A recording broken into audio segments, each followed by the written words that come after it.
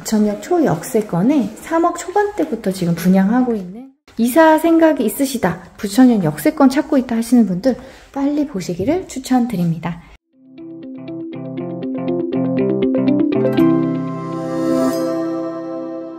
안녕하세요. 내집장만TV 김실장입니다.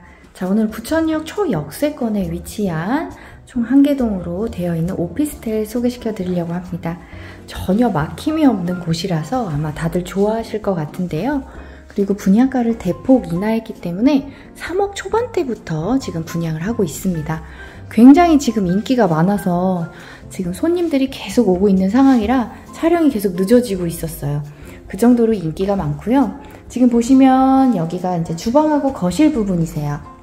자, 전체적인 화이트하고 우드톤 컬러 조합을 했기 때문에 따뜻한 느낌이 많이 들고 대중적으로 아무래도 가장 많이 선호하는 느낌이실 거예요.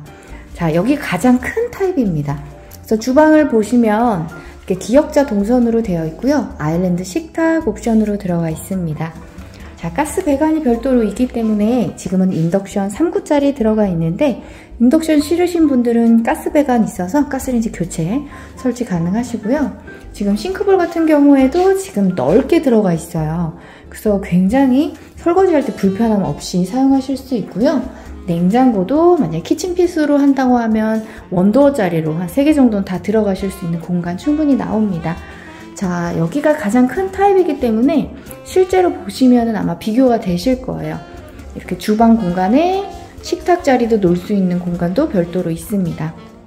전혀 막힘이 없어서 제가 뷰를 한번 보여드리자면 바로 보여요. 저기가 이마트 주차장 있는 쪽이고요. 그리고 이게 전혀 막힘이 없어서 이제 고층으로 올라오시면 될 것 같아요. 저층은 또 많이 빠졌어요. 금액대가 너무너무 착해서 분양이 빨리 끝났고 이제 고층만 남았습니다. 이렇게 큰 타입은. 자 이제 메인 안방을 먼저 보여드릴게요. 자, 여기가 메인 안방이신데 어, 여기 천장에 에어컨 마찬가지로 들어가고요. 여기는 전체적으로 천고가 높아서 개방감이 훨씬 있습니다. 자, 바닥 부분 마루 시공 되어 있고요. 여기는 이제 부부 욕실인데요. 자, 부부 욕실 보시면 세면대가 바깥으로 따로 나와 있고요. 조명 거울 들어가 있습니다. 자, 안쪽에는 샤워하거나 이제 볼일 보실 수 있는 공간으로만 따로 빼놨어요. 습식으로만 이쪽 사용하시면 되고 젠다이 선반이 이쪽과 저 안쪽에도 되어 있습니다. 어, 여기는 전체적인 톤 컬러가 되게 어, 차분한 느낌이 들어서 여성분들이 가장 많이 선호를 합니다. 여기가 첫 번째 방이었고요.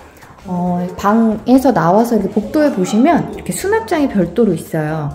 그래서 살림 많으신 분들은 이 타입을 가장 좋아해요. 그리고 여기가 두 번째 방입니다. 두 번째 방도 깔끔하게 되어 있고요. 네, 그 사이에 메인 욕실이 있는데 여기는 전체적으로 메인 욕실에 이렇게 샤워부스가 설치되어 있어요. 이게 가장 좋고 우드톤 컬러로 되어 있습니다. 스프레이 건도 설치되어 있고요. 매립형으로 들어가 있습니다. 자, 샤워하실 때 문 닫고 사용하시면 안쪽만 이제 습식 사용이 가능한 거고요. 그리고 여기가 마지막 방입니다. 마지막 방이고 안쪽에 보시면 여기는 보일러실. 체감이 너무 좋죠. 묵은 짐들 또 여기 보시면 수전 설치되어 있어요. 세탁기 건조기 하나로 다 위로 올리고 한쪽에다가는 세제 같은 거 놓으시면 될 것 같습니다. 자, 살림 많으신, 짐 많으신 분들은 가장 이 타입을 선호하시고요. 신혼부부이신 분들은 이제 작으면서 이제 남양 타입도 있어요. 거기도 많이 선호를 하시고요.